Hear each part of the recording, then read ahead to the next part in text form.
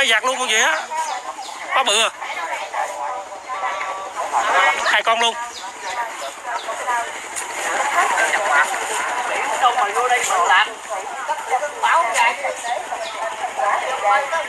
Này chắc trên Campuchia xuống vậy bài Nó xích dạng rồi.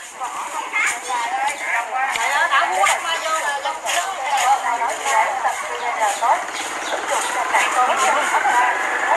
Ồ ta? Nào giờ mới thấy luôn.